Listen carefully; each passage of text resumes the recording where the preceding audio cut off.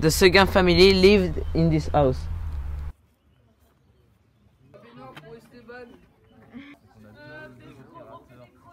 Marc Seguin lived in the 19th century. He was an inventor and an engineer. He married the niece of the Montgolfier brothers. Action. He invented the tubular boiler and the suspension bridge, very important during the Industrial Revolution in Europe.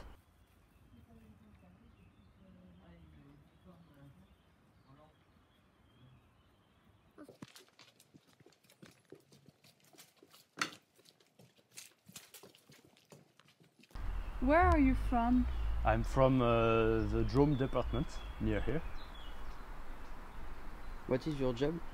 My job is uh, sound engineer. I'm working in concert and uh, enter- entertainment stuff. Okay.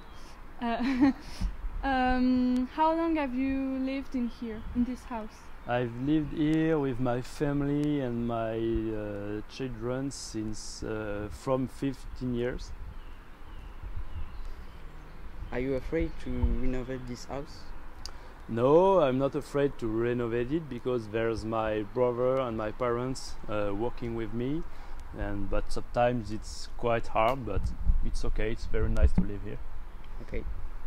What are the specificities of this house?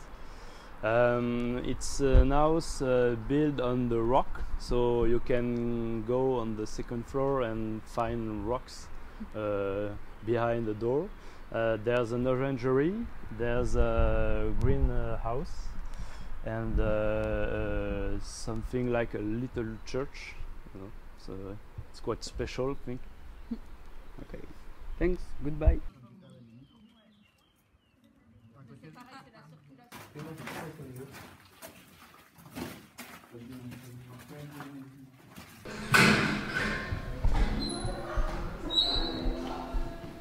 Raoul de Warren lived in the 20th century.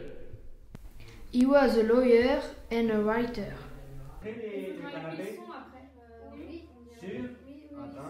He wrote Village Assassin and The Beast of the Apocalypse. In his books, there is the theme of the Gothic, the double, and the magic rituals, just like in our film.